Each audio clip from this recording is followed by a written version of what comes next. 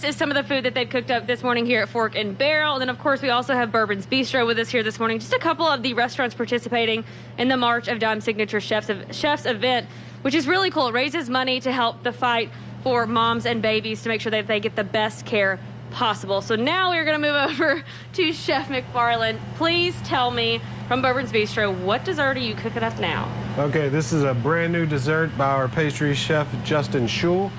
Um, this literally starts on our menu today. Okay. So it's kind of a deconstructed candy bar. Ooh. We've got um, dark chocolate cake on some caramel. On the opposing side, we've got some milk chocolate uh, ganache. And we like to finish this with some pretzel nougat. Oh, man. All of this is made in-house. Um, oh, yum. A couple of those. And then here we've got some dark chocolate peanut bark. So we put a little of this in here. A deconstructed candy bar. Wow. Kind of like, yeah, that's what we're kind of going for here.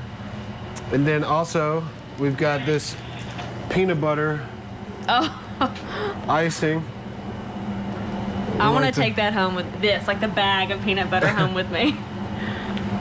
And then to finish it up, we just do a little couple sprigs of mint. Oh man! Um, but this is uh, brand new on our menu starting today. So that is so fun, and what a fun opportunity for you know you to still participate with this March of Dime Signature Chef event. But people are coming into your restaurant. How does it feel to be able to host them through um, this fundraising event? You know, we're always excited to do anything to help out the March of Dimes, any any local charities, especially the March of Dimes. I, I, like to say thanks to Jeff Hyde at Fork and Barrel for letting us come by and yeah. use his kitchen. Uh, Josh Moore from Volare giving me the opportunity to participate. And March of Dimes, of course, last but not least, for doing everything that they can. And it, it's a pleasure to do everything, hang out with the other chefs. You know, we'd love to do it, you In know, person, the, the, normal yeah. way. It's always a great time for all the chefs. It's one of the best parts of our jobs is to get out there and be face to face with the public.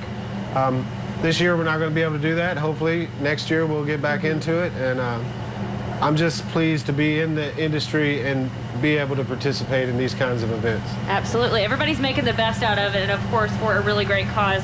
Now, I was looking at some numbers that the March of Dimes gave for Kentucky. More than $50,000 is how much it costs for every premature birth. That's a lot of money. And of course, how you can play a part in this too is by supporting the March of Dimes. Buy a table um, throughout this event. The virtual event actually is on November 12th.